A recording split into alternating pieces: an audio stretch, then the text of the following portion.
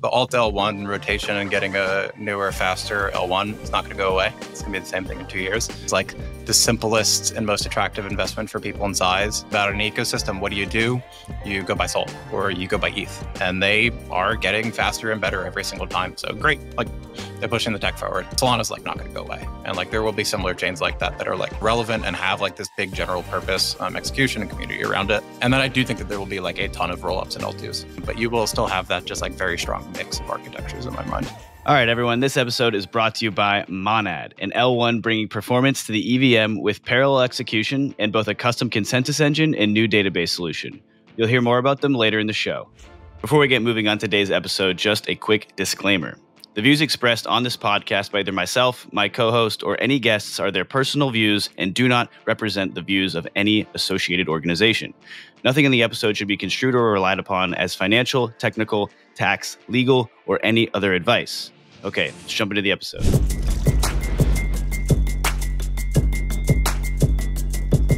What's up, everyone? Welcome back to another episode of Lightspeed. We are doing another roundup, but with a twist this week. We have Jon Charbonneau joining us and excited to kind of dive into the latest happenings this week. It was an exciting week in Solana land. A lot of things were going on. Um, and that's not to leave Ethereum out either. We, uh, we have e- EIP 4844, the Dencun upgrade going live tomorrow. Um, and we get the the pleasure of making predictions the day before during the recording, with the episode going live the day after. Uh, so this will be airing on the Thursday. We're recording on the Tuesday, so do keep that in mind when we get to that section.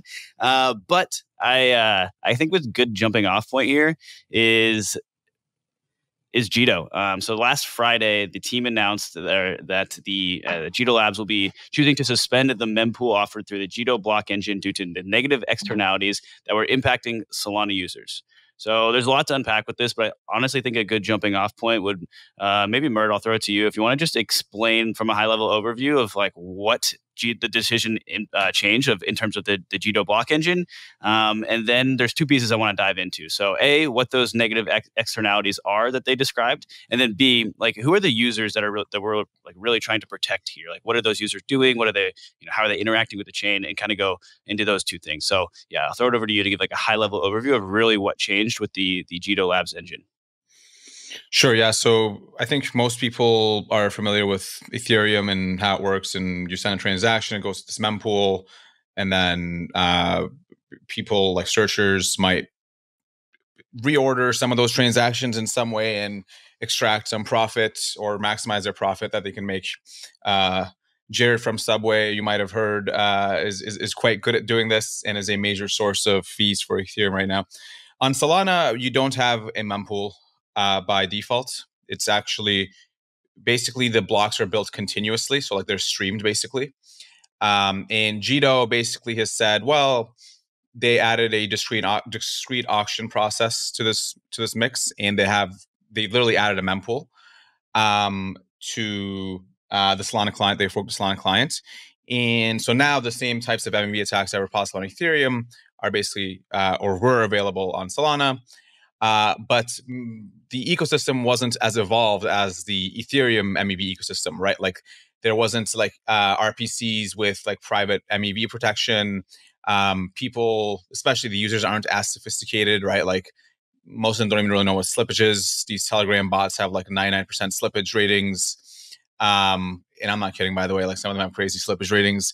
Um, and like for example uh, to the to the like, listeners who are unfamiliar with what this would look like you can just imagine like uh, you place a market order to buy something uh, and somebody's watching you um, they can like drive the price of that up uh, so that you buy at a higher price and then they can just sell it after and profit from that price swing because you know that's uh, you know there's probably poor liquidity and your slippage is probably pretty high for the market order um, and so this was happening quite a bit on G, uh, on Solana due to the recent meme coin season, right? Like there's hundreds of coins being launched, and people are just buying and selling and trading a bunch of shit all the time, and that gives searchers who have this like edge because um, they, they, they obviously have this mempool, they can see what's what, what's happening, and they were giving users very um, basically the worst possible price possible that you set like if you said my slippage is going to be 25%, like that's the worst I'll accept, you would just get that. Like it basically was guaranteed.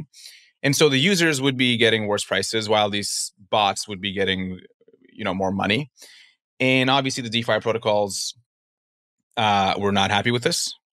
Um, and you know i think there was some social pressure. Uh, i've seen quite a few things on on twitter calling jito out even though i really don't think they should have been called out at all.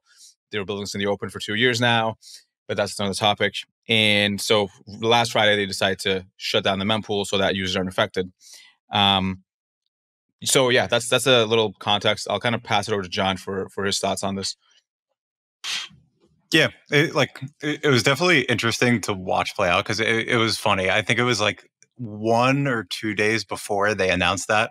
I had actually I listened to the weekly roundup that you guys did the week before, and like I quote tweeted it.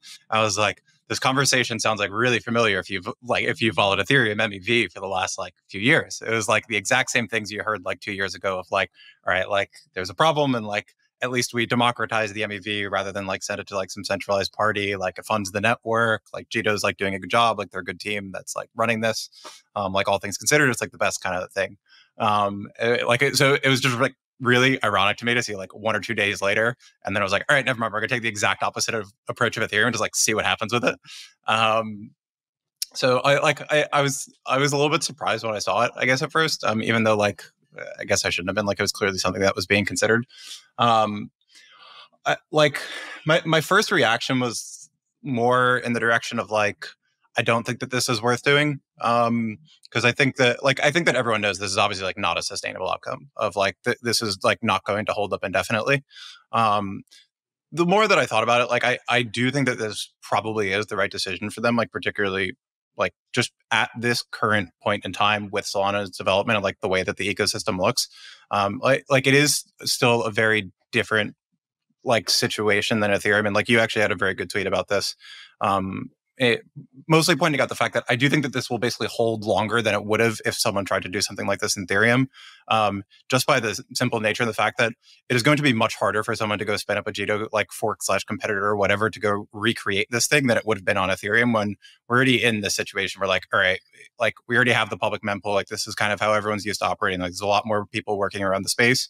Like quite frankly here it's like not easy for someone to like just go recreate the Jito Solana mempool and like and then get the social kind of complexity solved of like getting enough people to like onboard onto this thing to start to use it in the first place.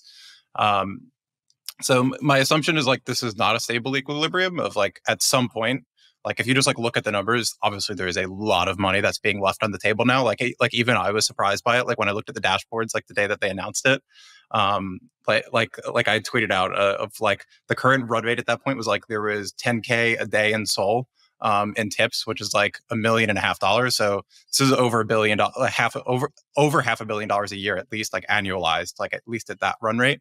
Um, that was going through the auctions. Like it's a lot of money. Um, so not all of that is obviously removed with getting rid of the mempool, but like it points to the right order of magnitude. There's a high incentive for someone else to go spin something like this up over a long enough period of time and to like try to capture that value themselves. Um, this does just buy you like so much time, at least in the short term, that it is enough that it's probably worth it. Um, and then in that interim, you start to think about like, okay, like what is the better long run solution? Um, and, and, this is where it starts to get tricky um, because this is where you start to like have the same conversations again that Ethereum had like a couple years ago. It's like, okay, like what are some of the things that we think of as like the possible solutions? Like we could add a mempool back, but like you keep it more private and you kind of like auction this off to a permission set of like fillers you know something that's like more like either looks like like MEV-Share or like uniswap back something more in that direction of like okay like we trust the parties that we're going to send this to so like they're not going to sandwich and screw all the users. Or you start to do something more like a full block pbs and like you have a private mempool with that um, so there's not a perfect solution and that's why it's like like this is not going to hold but it like it probably buys enough time and saves like enough value in like in the Solana ecosystem that it's also just worth trying the experiment right now. Um, like there is much more social cohesion, I would say, like within the Solana validator set compared to Ethereum. Of like, um, it is just like just as a byproduct of kind of like who owns a lot of the SOL, quite frankly, of like it's still held at least relative to Ethereum much more heavily concentrated among like investors and the foundation that's like delegating stuff like that. So like you can actually just kind of direct like at least a large portion of the stake that makes it easier to control at a high level. Um, but it is still the same idea of like, you know, someone is incentivized if they're running like 5% of stake or whatever, some small amount to like go start doing this on the side. Like if you're validators, like start searching on your own um, or start like striking these agreements out of band. So how long this will hold, like no idea. Um, but it'll be a fun experiment to see, like if nothing else. Yeah, I think that's well said. I think the thing that um, mo- most people, I think the first initial reaction was like the incentive is to now bootleg this and uh, maybe fork it or something. But then because maybe pattern matching from Ethereum, but this is actually a very difficult technical challenge. Like Jito did, took a very long time to do this, and the code is uh, the, the, labs client is you know pretty hard to read, uh, and uh, so somebody would have to understand how Solana works at a very deep core level, and then get like basically half the validators to adopt this new client. And it took Jito a very long time to do this. And so it, it's actually like a business that's quite hard to compete with. So that's interesting. Um, I, I, would be very interested to see if there's competitors that rise up in the next few months to years based on the amount of money that's on the table right now. The other thing that makes this interesting is actually, I think, the Firedancer clients, because once Firedancer goes live, um, and let's say it's like a, I don't know, let's say it's a 10x improvement over the client, uh, the labs client, are is now going to run this or are they going to run Jito, assuming Jito runs the uh, the the the mempool back, right? Like, which one do you use? Does Jito now add a uh, mempool to the Firedancer clients? Right? There's a lot of really difficult questions here, and um, this is all coupled with the fact that the fees actually basically don't work right now, and there's network jitter, and so there's a lot of uh, fun problems that are and, and like I tweeted this the other day, which was like you know, Solana's working this fast and it's like insanely broken. So like I'm I'm kind of curious what happens to L1 scaling when these problems are actually fixed. Like what does that look like? Okay, guys, quick break from the episode to talk to you about Monad, the L1 optimizing the performance of the EVM. The team is working to materially advance the efficient frontier in the trade-off between decentralization and scalability. The internal DevNet is currently live, and public testnet is coming soon. And testing on the internal DevNet uh, indicates that the chain can handle up to about 10,000 transactions per second, significantly increasing the throughput capabilities of the EVM. This, of course, opens doors for new applications and more interesting use cases, even those with greater complexity and higher usage, to run in a decentralized manner. Importantly, Monad is fully compatible with the EVM and the Ethereum RPC API, which provides EVM developers with the seamless portability for their applications. Given the popularity of the EVM today, this is really a no brainer. To stay up to date with all of the latest developments, join the Monad community by following them on Twitter and jumping in the Discord. They're a lively bunch, so hit the links in the description below. All right, let's get back to the episode. Dan, I believe you had a question. Yeah, no, that, that's funny. I think actually, uh, out of pure chance, like the three of us kind of immediately all went to the same direction of like, oh, the incentives are now there for someone else to take advantage of this. And um, it was interesting because most of crypto Twitter definitely went to the the opposite direction. It's like, oh no, this is the the better end state. But what I still am like struggling to get my head around is like, you know, I, I've I pay attention to this industry for long enough that I'm going to dabble in some meme coins here and there. That's just I, I can't not. And so when I make trades to to purchase any meme coin, I know I have full underst. I, I guess maybe I'm an outlier here because I have full understanding of when I set slippage to 10 plus percent. Like I'm just going to get nailed. Um, but like I'm buying this thing because of the the potential price appreciation to see if we can make a quick trade, right? That, like that's the whole point, and it is very much so gambling. Um, and so if I'm like using a Telegram bot or something, like I, like I don't know, I struggle to think that like that is the user that really we should be prioritizing here. Now, if you abstract all of that away and you just think high level, should users be getting better or worse prices? It's like fundamentally the answer is absolutely a better price. Like I, I don't think we should be creating systems to, um, you know, that end up negatively imp- impacting users, or you won't have users for much longer after that. That does seem fairly true. Um, so it's like this weird push and pull for sure. Now, I, I, the question is, I guess, how long does this go on for? Because Jon, to your point, you know, half billion dollars a year sitting on the table.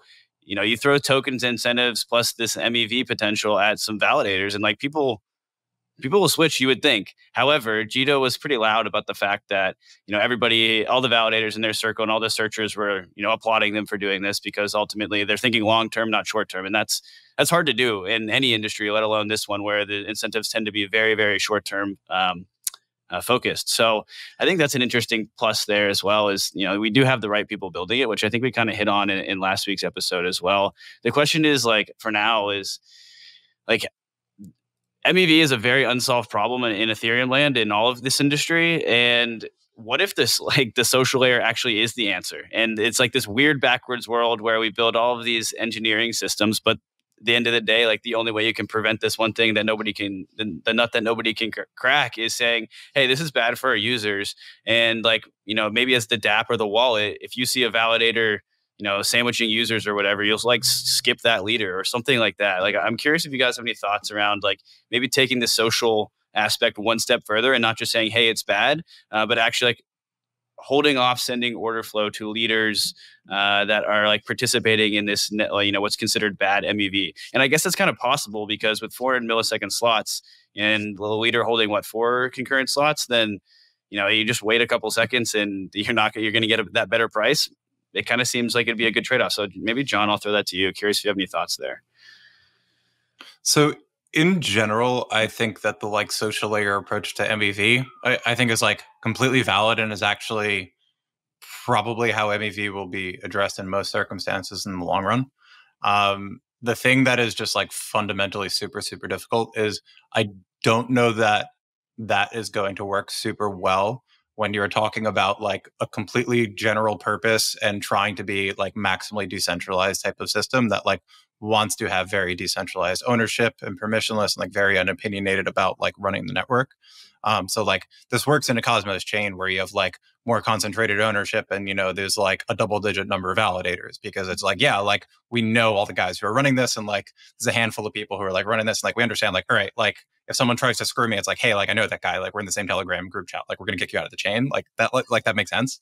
Um when you're trying to do this in like a network where the end state vision of this is like this is a maximally decentralized permissionless like we you know the the ownership of SOL and the network is like completely decentralized. It's not just like you know a handful of like larger parties who control large amounts of stake and kind of like can drive the messaging a lot um, I, I think where it is today, like it's sustainable enough. Like there's enough, like it's a small enough community where like there is meaningful cohesion of like you can kind of rally around something like this. I don't think that this is sustainable if you like look on a multi-year time horizon of like where you kind of want Solana to go of like, you know, you don't have, you know, the foundation delegation program or like large investors that like hold a large large amount and like there's you know, there's a bunch of different validator clients and you know, we don't even know who a bunch of the validators are. In that world, I think it's like pretty difficult to start to rally around this.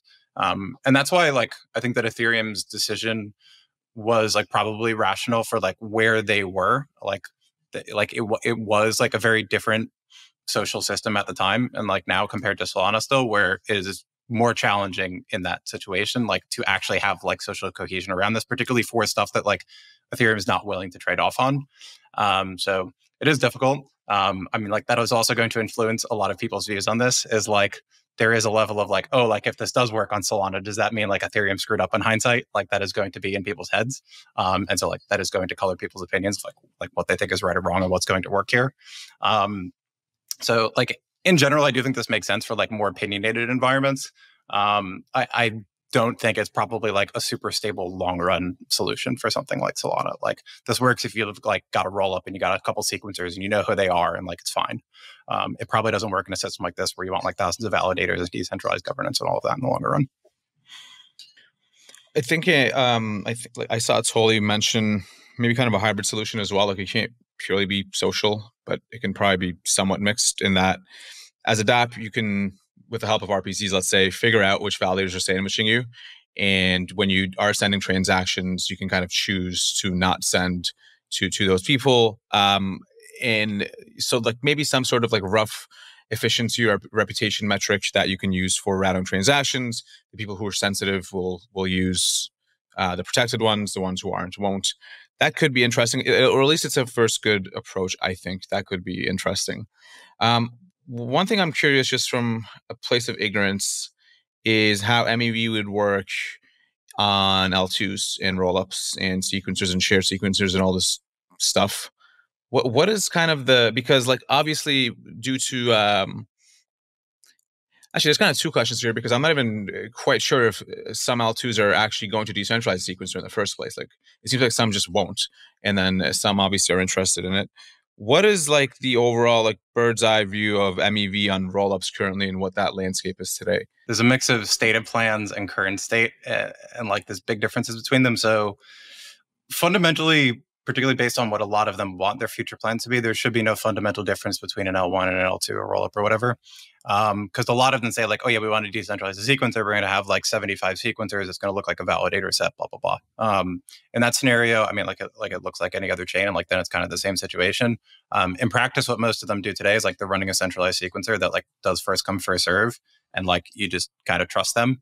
And like, yeah, they could screw with you if they want to. Um, but they're not going to because like they are the centralized party who's kind of behind this thing and like their reputation the value that they're getting from this like far outweighs like you know getting some sandwich profits. Um i like actually think that is probably directionally where a lot more of this will go um than people expect. Um there starts to become like in general, I, like I am very frequently a fan, and like I tweeted about this, like actually like kind of at the abstract at the time, but like I'm I'm generally a fan of systems that make like very strong trade-offs and then just kind of like lean into that and understand like okay, like we are obviously making a trade-off in this regard, and then like pursue that to the fullest extent. Um, most systems that try to like, oh, we're going to solve all the problems, we're going to perfectly decentralize, it's going to completely solve MEV, and we're also going to be completely decentralized and permissionless. Like, like, like there is no perfect solution to this. Um, so my inclination is that like I actually think that a lot of rollups will start to gravitate closer towards the centralized decentralized mix of like yeah we do just have a fully centralized operator and like we accept that that like that is a trade-off of like there is a centralized operator who is responsible for the ordering and execution of this chain. Um, like they're the one who decides like what is the construction of the blocks what is the ordering of transactions and then we have fully decentralized like after the fact verification self-custodial all of that um, but fundamentally, at the end of the day, like a centralized sequencer is always going to give you like the best MEV protection, quote unquote, of like, yeah, you just like you trust, you know, if Coinbase is running a sequencer, they're not going to go front run their customers for the same reason I trust them not to like screw me when I trade on Coinbase, the exchange. Um, like they're not going to do that and they're always going to be able to offer the best product in that circumstance of like yeah just like jack up the hardware requirements because like who cares? It's a centralized sequencer. Um, you can offer just like instant latency like you don't even need like a few hundred millisecond block times like just be instant.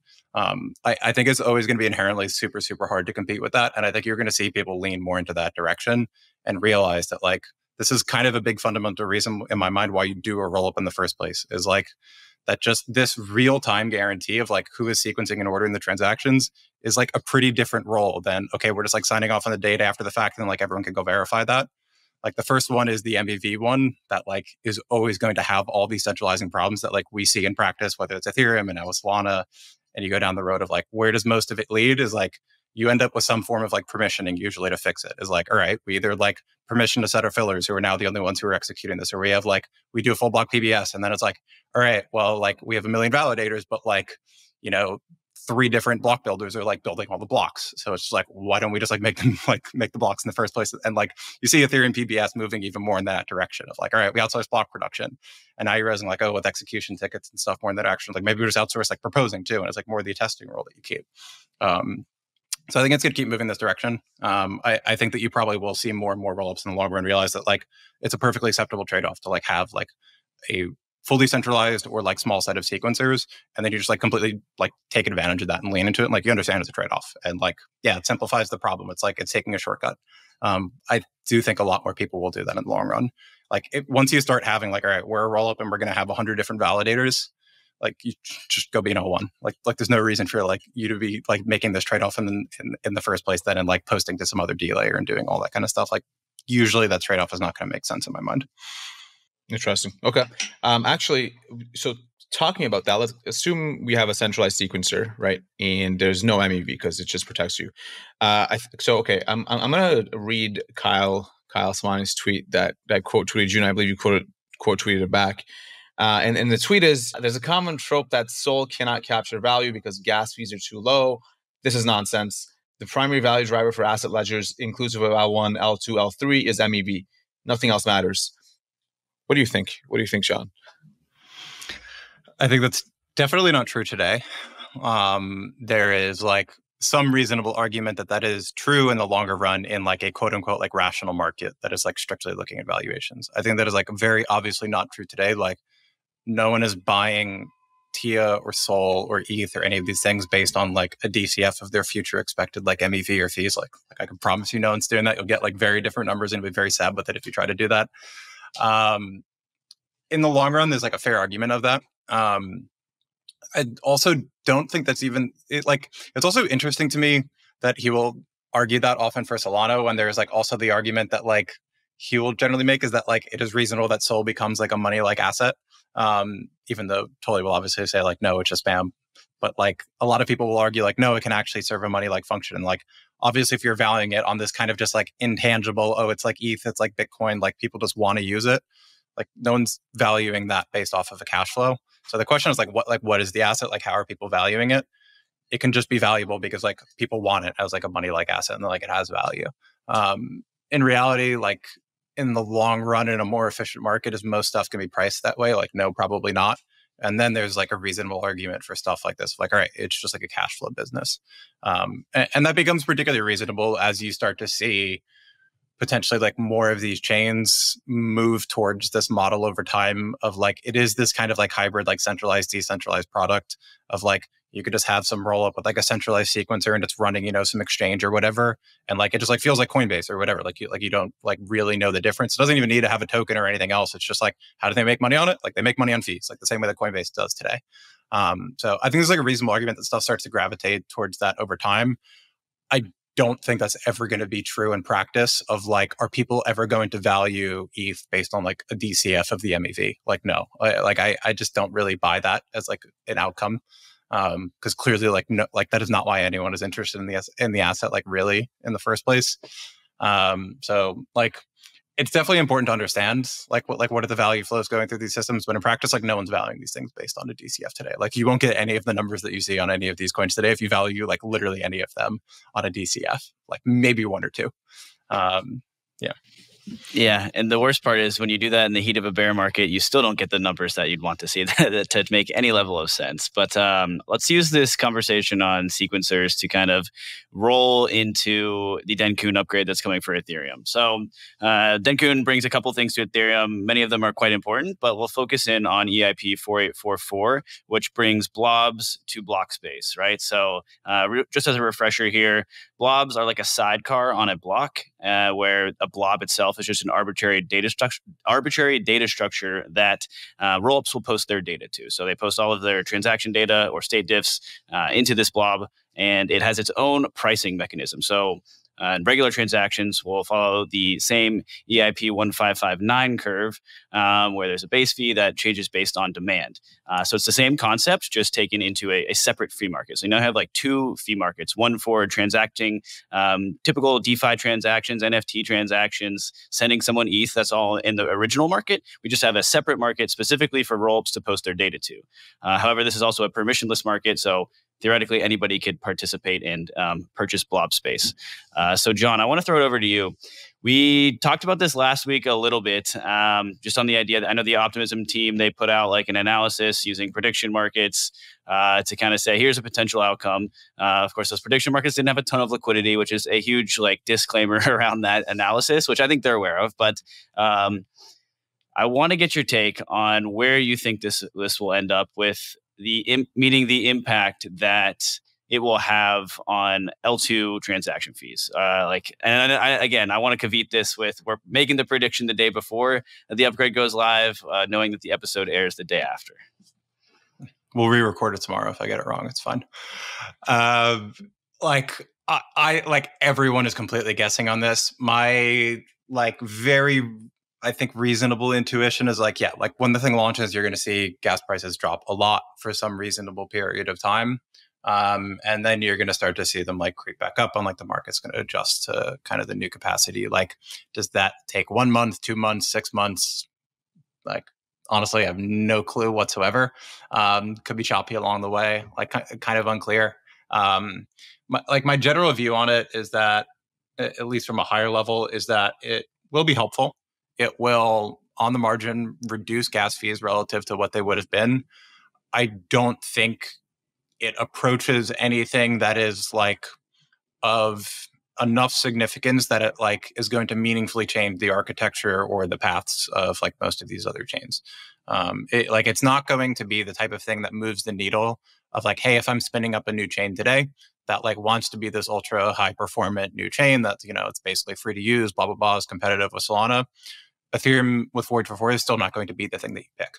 Um, you are still going to opt for something like Celestia, maybe like something like EigenDA when it goes live. It's still going to be like it, it is a multiple improvement over like what the current status is. It's not something that's going to like put you on par with like being com- cost competitive, transaction uh, throughput competitive with like something like Solana, particularly as like you're thinking about spinning up these new chains. You're still going to go use the newer, meaningfully cheaper thing.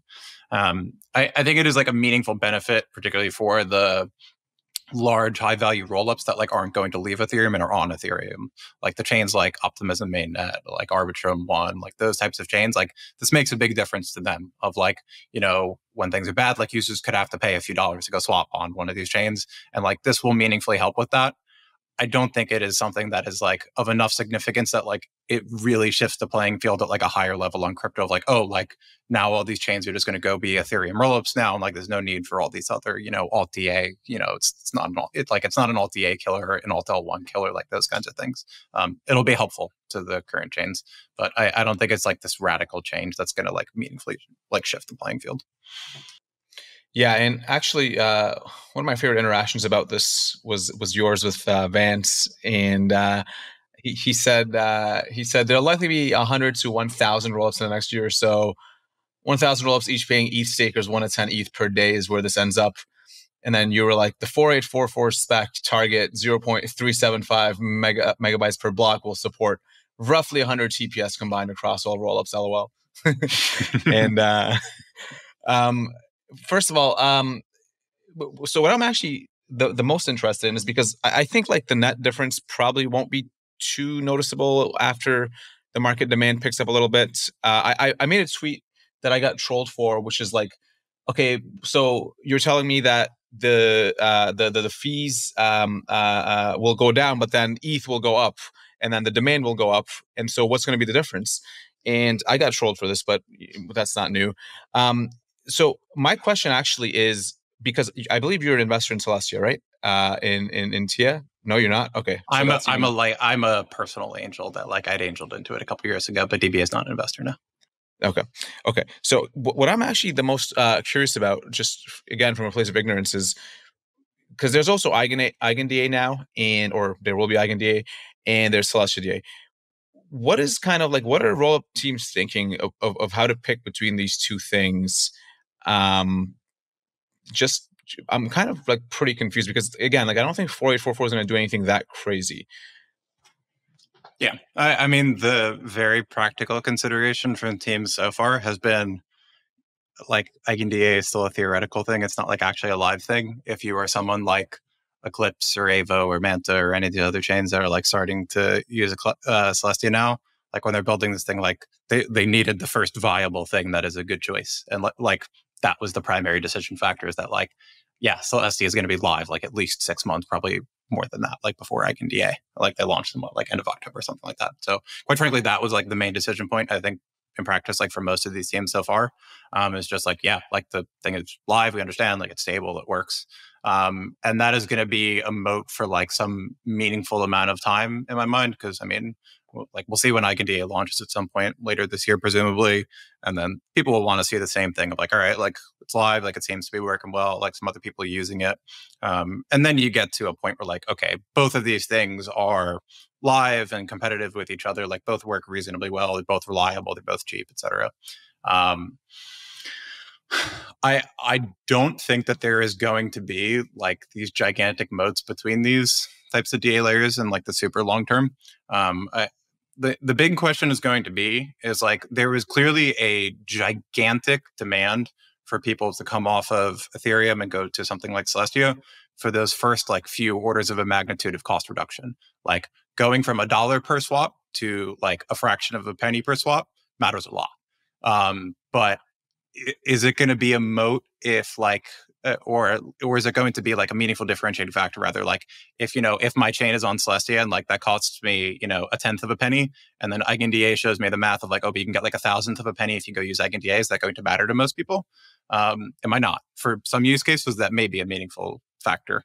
Um it's also a guess of like what like what are the orders of magnitude difference between those things going to be and like where does that stay over time? So like in practice i my general assumption is both of them and others are going to be like in the same orders of magnitude of like really cheap.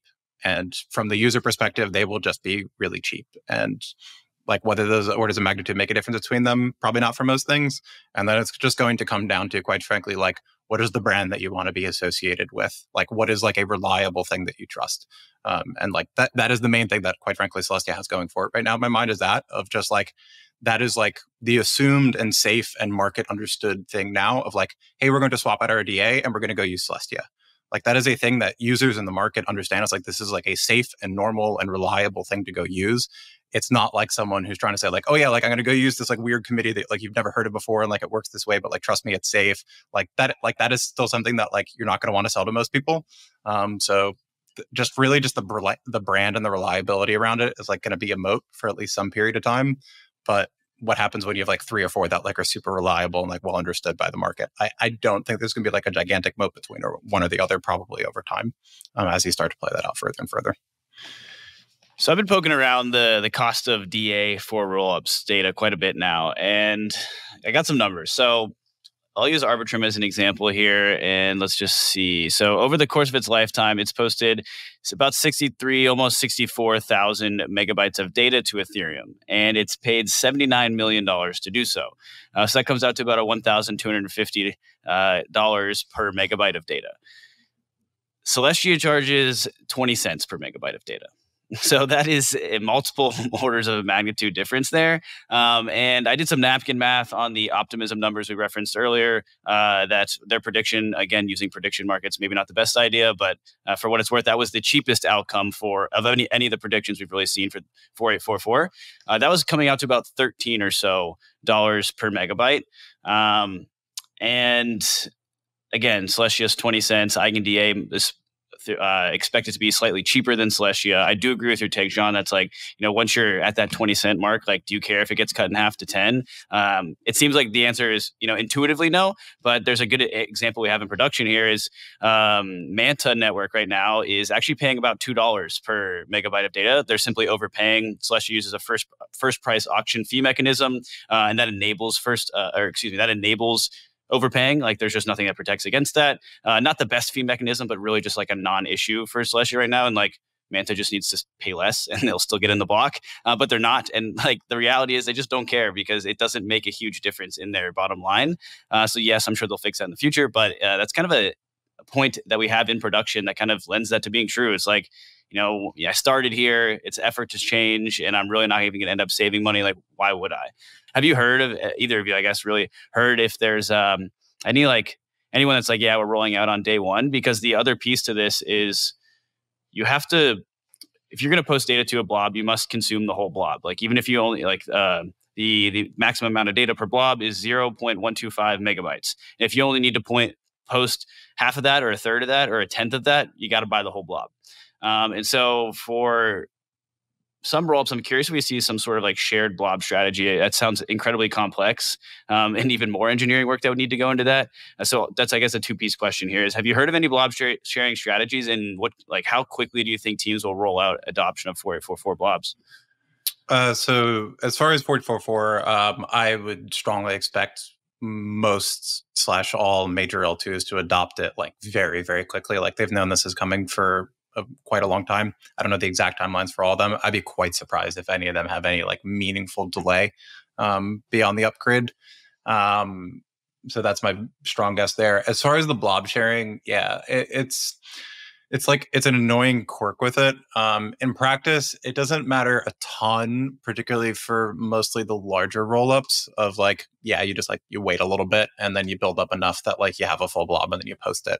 Um, it like in practice, a lot of these rollups are already playing kind of these like timing games to some degree of like Arbitrum does this with their sequencer, for example, of like, all right, gas prices are really high. Like we'll wait a little bit longer to post a batch based on like we determine this that you know it's more like, like it's likely to save us some cost, and then like oh gas prices are low, like we'll post a bunch more of them now, like a little bit faster.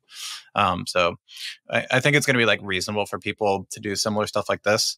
Um, I, like I have heard some people working around strategies for sharing blobs and like in theory it is more efficient I just don't think it's probably a pressing need for like most of them, particularly particularly at least for the large rollups. For the small rollups that just like have small transaction volume, um, that is something that like actually would matter more for them.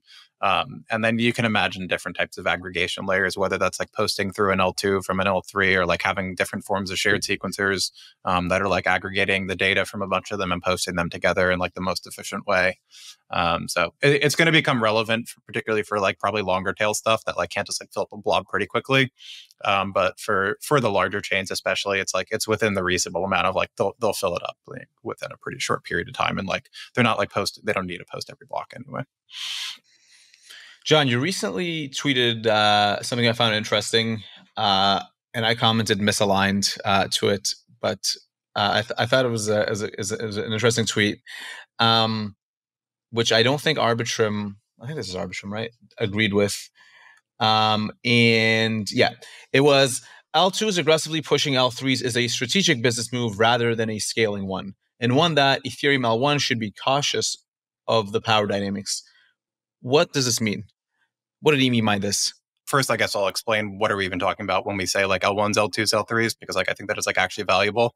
Um, I mean, like all we're really talking about is like in practice, like where do you have a contract that you're like quote unquote settling to that like you're determining your fork choice off of? Like if you're you know optimism or base right now like they are l2s in the sense that like their contract that like they're looking to that like you know hey we're like we're looking to ethereum for like our fork choice. Like you can just have a chain that deploys that same type of contract like you deploy it on top of an l2 and like now you're quote unquote an l3 and like you're like settling down to the l2 and then they settle down to ethereum.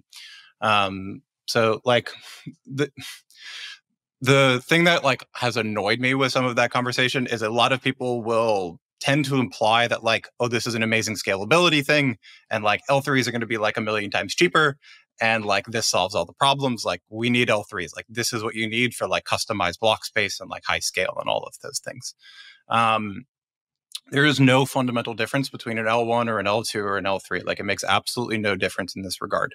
Um, if you are an L2, you can post to some other DA layer if you want. You can aggregate proofs with other chains so that you, such that you amortize your proof costs together.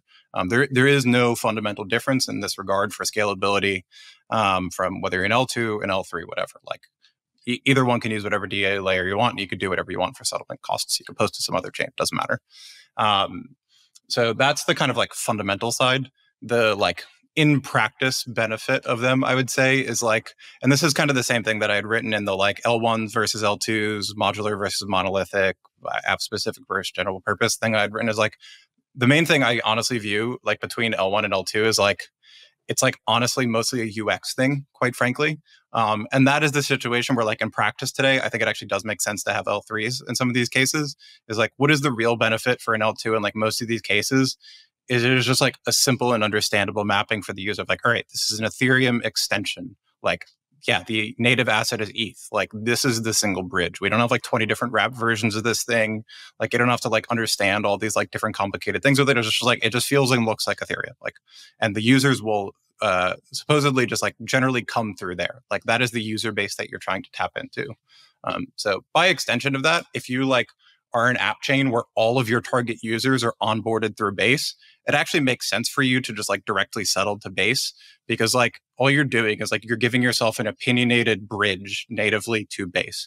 If you think that all of your users are going to come from base and they're not coming from like Ethereum L1 or some other rollup or whatever, it makes sense for you to just like tie your chain to base because it's like it's the simplest bridging experience that gives you like instant bridging up. So like it makes sense, um, but it's, it's not like a fundamental scaling thing. Like you, like you can have an L2 that's cheap.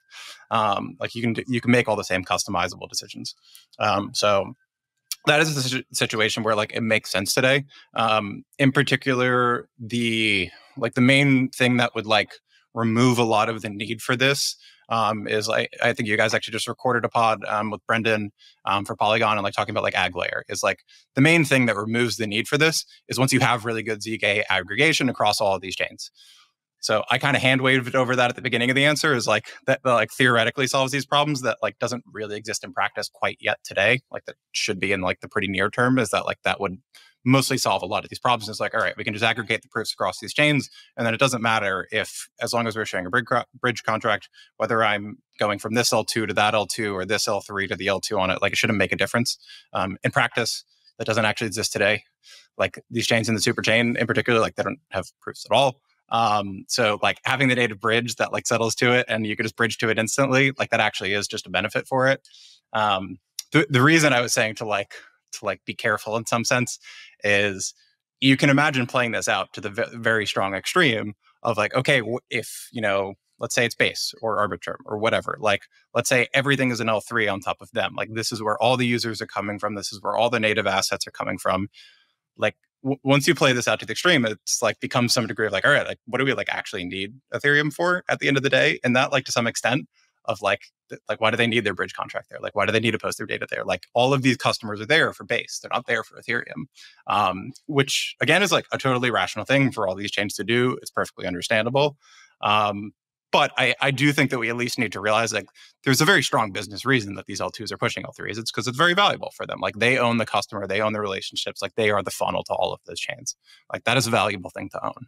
Um, there's a reason that it, it, has always been free and permissionless to launch an Arbitrum Orbit L3 that settles to an Arbitrum L2. But if you want to fork it as your own L2 or settle to another L2, you cannot do that permissionlessly and for free. Like you do need governance permission or pay.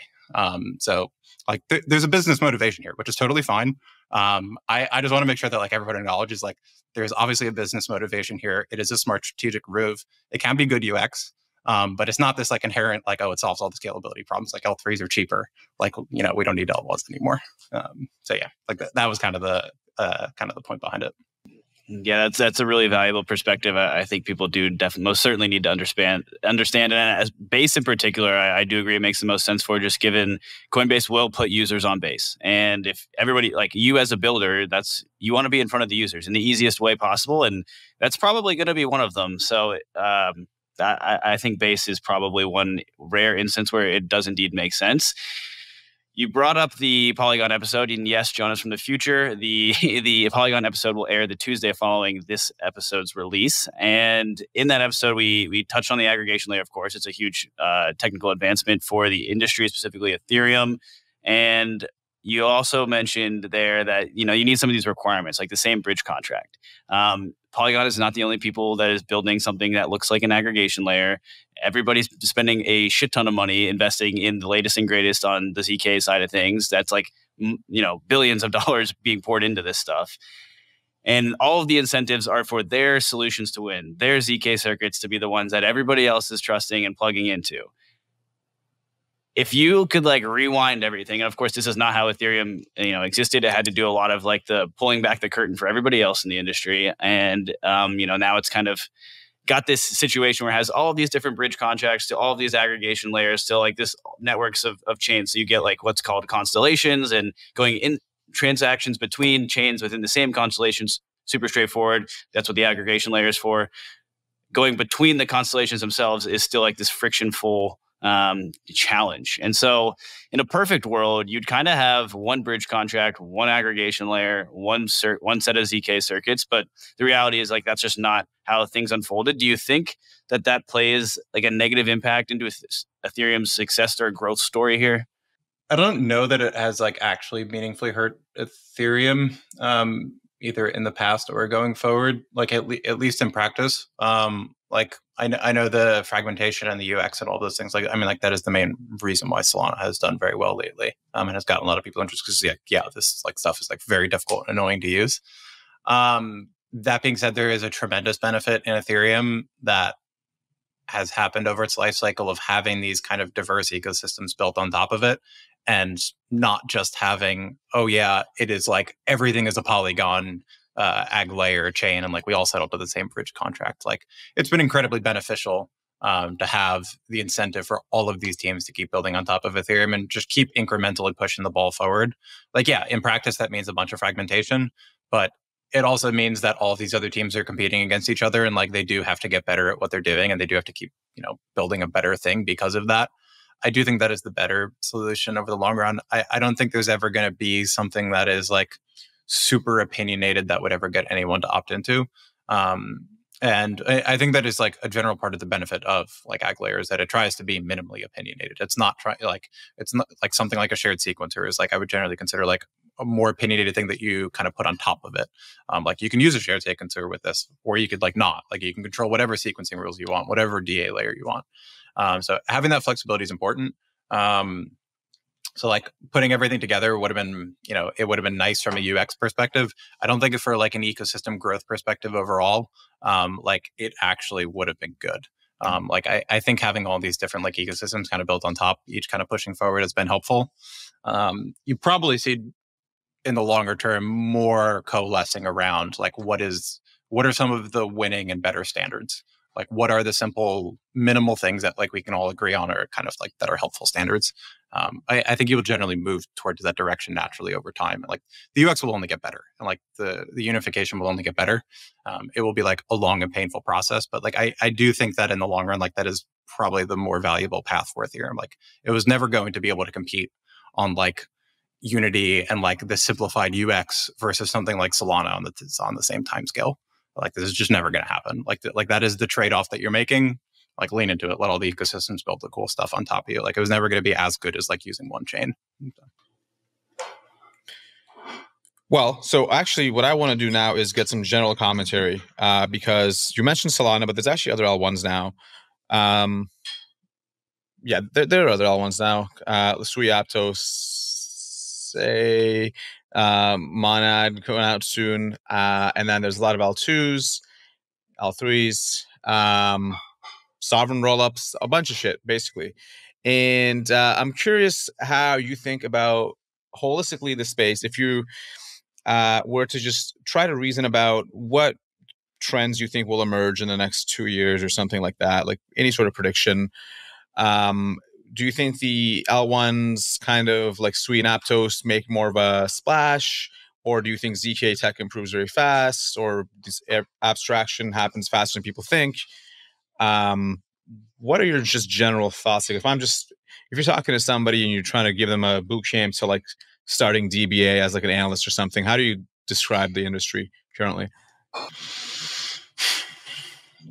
On a two year time span, I actually don't think it's going to look crazy different than it does today. I think we're going to see a similar mix of all of these approaches. Um, like the alt L1 rotation and getting a newer, faster L1, it's not going to go away. It's going to be the same thing in two years. Um, if for nothing else, quite frankly, because of the investment incentives there, of like that is still going to be in my mind, like for most things, like the simplest and most attractive investment for people in size of like they're excited about an ecosystem. What do you do?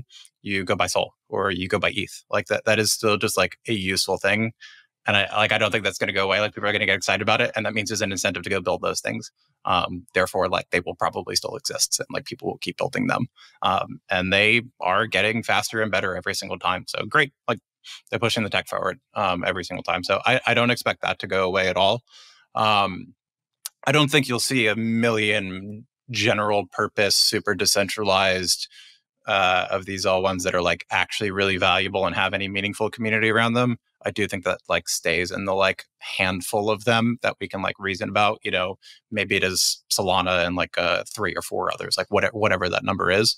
Um, I, I, I do expect that um, like Solana's like not going to go away, and like there will be similar chains like that that are like relevant, that are relevant and have like this big general purpose um, execution and community around it. Um, and then I do think that there will be like a ton of rollups and L2s um, and just like more more app.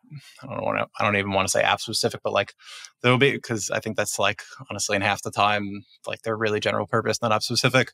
Um, but there will be a lot of chains, and they will start to and they will look more like this like L two ish model. It's just that like the lines on that are also going to blur of like like what like what is this thing of like all right, like it's primarily using ETH assets, but like it's using this other DA, and like maybe it's like using restaking to secure the thing, and like maybe it's maybe it's not using DA. Like I, I think that you're going to see all different mixes of this, and everything is like kind of going to blend together. Like I think most major assets are going to start to look very similar in that regard. Of like you're going to have a major asset that is like used for some form of restaking, um, that is going to be the staking kind of center of this ecosystem. Like you're probably going to see the same with Solana um, that you see with Ethereum of like people will start using Sol restaking and like there'll be an incentive to have like I like I know that you've also been more positive and like it might make sense to have more L2s on top of Solana. I think that will probably happen in, over the next few years. Like people will build those because like it actually does make sense to. Um, you'll probably see the same thing with Celestia of like, sure, why not? Like build Celestia restaking. Like I think a lot of these major assets are going to converge on the kind of similar ecosystem type model. Um, but yeah, in two years, I actually don't think it'll look crazy different. I think it will look similar, just more developed. Of you'll have a handful of these integrated chains that are still like super super popular that people are excited about, but you'll also have like a million different chains, um, and like most of them won't be relevant. Like most of them won't like people won't care about them at all. Um, but you will still have that just like very strong mix of architectures in my mind. Um, that's a good thing. I like I don't think we need to all coalesce around like this this exact same standard for everything, particularly in the next couple years. One um one thing I want to touch on quickly is uh, your recent investment into Eclipse, which is an SVM rollup, which I believe uses Celestia for DA and settles on Ethereum. And I think probably there's some plans for changing that DA later, but you know, for, for the time being, it's it's that that's what it is. One one criticism I heard of this was that the the overwhelming bottleneck is obviously DA. And so, why do you also need to make the execution environment SVM? What do you what do you think about this criticism? So the bottleneck depends on the different chains. Um, and like you, can actually have the different bottlenecks at different times. I, I, would say in practice for most Ethereum rollups, particularly in aggregate, like DA is the bottleneck for them. Um, and that, I mean, that's why Eclipse will not use like Ethereum DA because a lot of this would go to waste if you were still using Ethereum DA. You need to remove that as the bottleneck for them. And like that in practice is the bottleneck for a lot of them, at least on your steady state costs, um, is that. Um, so they will remove that, and that sets your baseline back to like, okay, very cheap now for Celestia. Um, and then you could, all right, like, like let's juice up the execution environment, like bump up the gas limits on this thing, and like let's see where it goes. Um, you do eventually potentially end up on the same fundamental limit, depending on how big Celestia blocks get, though. Of like maybe Celestia blocks are eight megabytes, um, but over that time period, like you know, Eclipse keeps bumping up the hardware requirements and they need 10 megabytes like over that same, same time period. That, like now that is the bottleneck again. Um, so it, like it's always going to be a moving goalpost based on that. Um, but yeah, I mean, like th- that is why Eclipse and like most of these other new chains in my mind, like they just won't use Ethereum DA um, because it's not cost competitive. Um, and so like you need to think about the different bottlenecks kind of at the different times because there are other times where uh, Ethereum worlds will get constrained by their own execution, um, where you'll see like you know, gas prices on Arbitrum will get really high, but like they won't get high on Optimism. And it's because of like they have some finite gas limit on Arbitrum. Um, and like everyone wants to do, you know, an airdrop or some mint or whatever. Um, and that's just like bound by that own execution environment and not just like the DA of the chain underneath. Um, so it depends on the different like situations. Um, but yeah, I mean, like you definitely have to address both bottlenecks, like if you want to be super performant. So Neel had a tweet that I thought was hilarious, and it says Eclipse will push the hardware requirements of the SVM to laughable extremes, to levels that would make a Solana L1 validator gawk. This is only possible by virtue of our small sequencer set. I'm curious to get your thoughts around this. It, it, it really does seem like they're. Uh, we kind of alluded to this earlier, honestly. Is like you know own the fact that you have a small sequencer set and max that thing out. It, uh, just give us a little more insight onto how you think about this in the context of Eclipse. Yeah, I like this is my general view of if you want to be these ultra high performance chains, I think that is the way that most of these chains and these rollups will go if this is what they're trying to go after is this like super high performance market. Um, and that, that is what like Eclipse clearly wants to do. So like like why not increase the hardware requirements like arbitrarily? Like there's a very good argument that you should already do it on Solana today or at some point in the near term. But like you can be even far less cautious if you're just running this centralized thing by yourself. Like yeah, like raise it higher. Like we're running it. Like we like we know what it costs. It's fine. Um, and yeah, if you get problems with it, like maybe you get a liveness failure. Uh, like I don't, I don't know, it's fine. Like that, it's going to happen to all these chains. Um, like you should just be pushing the limits on all of these things much, much further. Um, once you're making this trade off in the first place, I think that's what you know directionally makes sense for them to do. If Firedancer is way better, like when that comes out, sure, just run that instead. Like don't even run both clients. Um, I, I, think you'll see other chains start to do this over too, like chains like MegaETH, um, like the same thing. If like you want to be the super high performance L2, like for the AV- AVM side for them, like yeah, like you're going to want a much much beefier sequencer.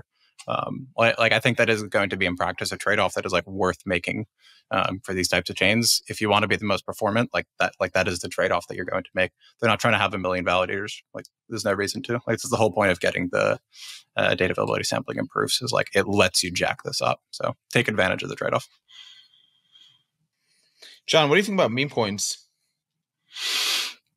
Uh I, like I like I, I, I definitely just don't want to be one of the VCs who's like writing the thought pieces on VCs uh, on meme coins, which is honestly most of the reason why I like don't write about them at all. Um, like I love them, um, like they're great. Like I like I own meme coins personally. I mean, like it's it's not something that we do in the fund. Um, it, it's like, but like they're fun. Like th- like this is what crypto is in large part. Um, and like that's fine, particularly today. Like realistically all of the people who are still here today are the like early people who are nerds and just like like using all this shit. Like like stop taking yourself so seriously and just like getting annoyed at the people who are trading meme coins like it's fine. Like like that is why a lot of these people are here. It's like this is like a fun industry to work in and like that's never going to go away. Um I, like i i have no problem with that. I and i do think that it is like for a lot of what the thought pieces are of like at least the general point like actually is valid of like we're going to move closer towards this like what is this thing priced on based on like attention and people like the thing and that's like perfectly valid.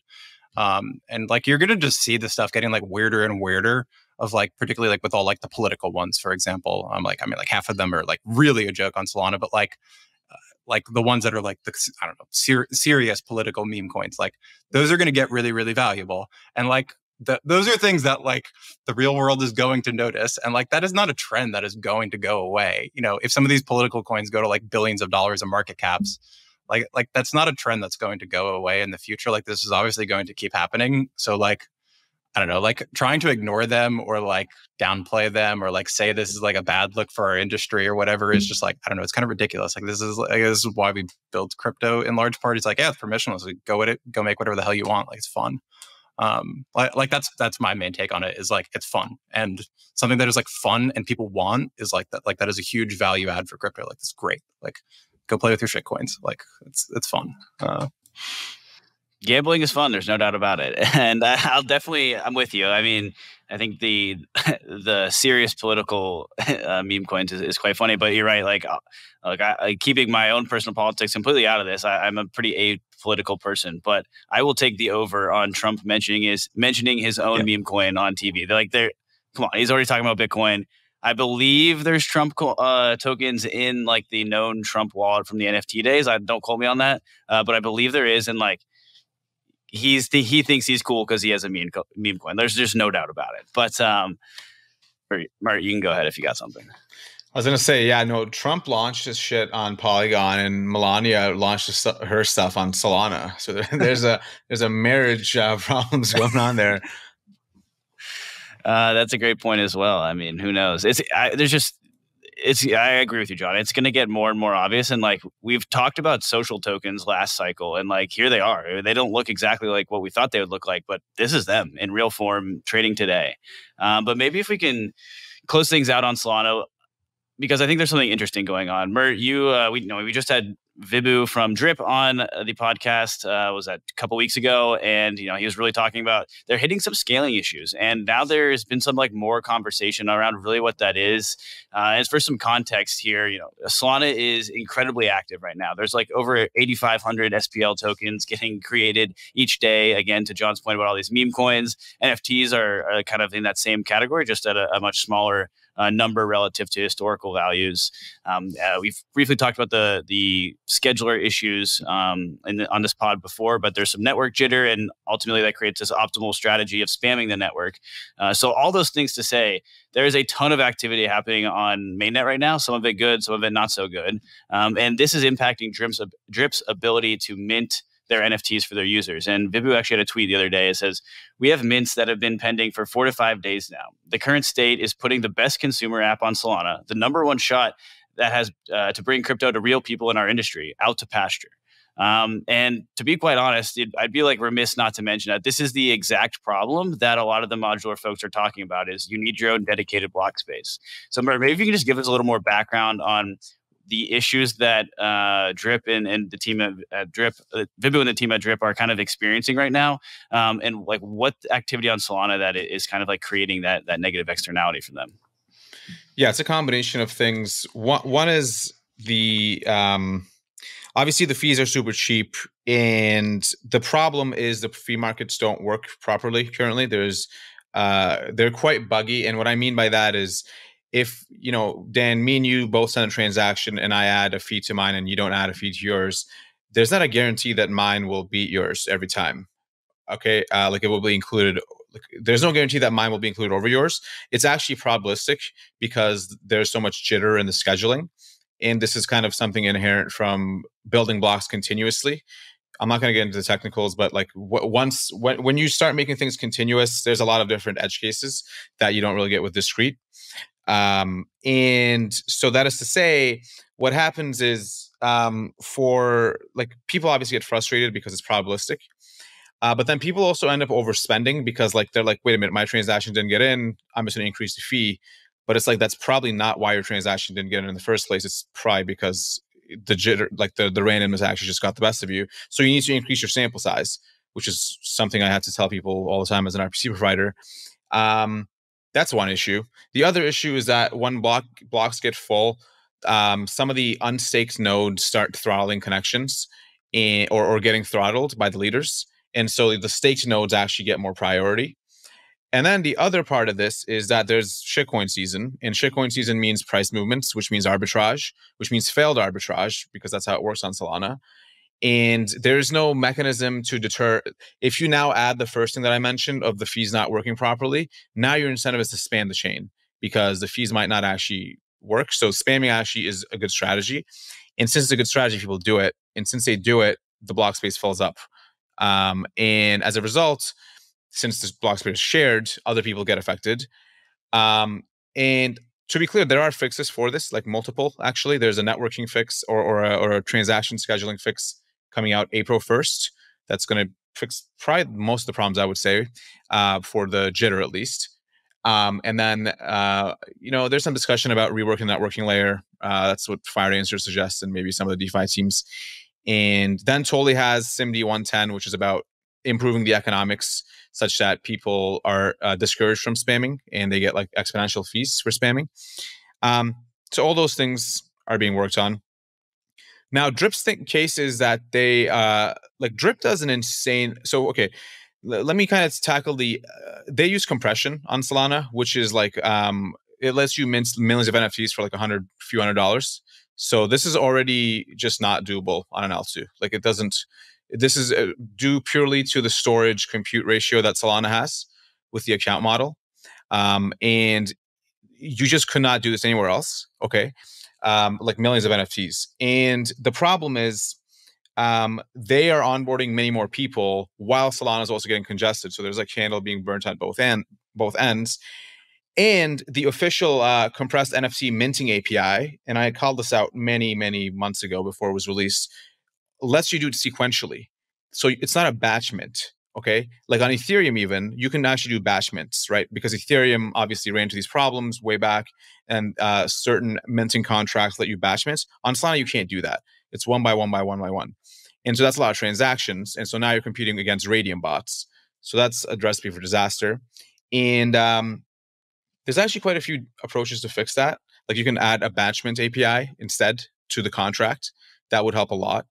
Um, and you can um, uh, you can use durable nonces, which is what a team called Get uh, uh, Code does, which which have been on the show before. Um, so there's some uh, uh, uh, solutions to it. The L2 approach to this wouldn't work because the state, like the, and Toly says all the time, the problem is like you, the the the state isolation, right? Like they get a, a certain part that they get to write to, right? And on a rollup, that's also shared, basically, right? Unless it's a specific app chain, in which case your costs are probably not going to be as cheap as Solana, in my view, because ultimately you have to use some DA. Um, and so I don't think any blockchain today will be able to handle what Drip is doing. Like they're doing some crazy stuff, millions of NFTs per day, every day, uh, and uh, it's it's it's it's definitely challenging. I understand its frustration, but um, there is a lot of, and this is what I said way earlier in the episode, which is that Solana is actually like insanely broken right now. like it's it's actually it actually barely doesn't like it barely works. Uh, like you'll still be able to get your stuff through as a user, but like if you're a DApp, those uh 400s and 500s in your Datadog charts start adding up. You're like, what the hell is going on?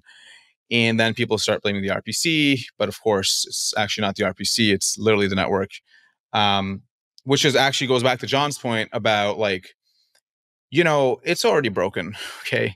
Like this is already priced and nobody gives a shit if it goes down at this point, honestly. Uh, or like you could probably just do what Optimism did and just say you're going to do a schedule maintenance. Uh, and just like, if not now, like when are you going to do it? Like, are you going to do it when the total chain TVL is like 500 billion?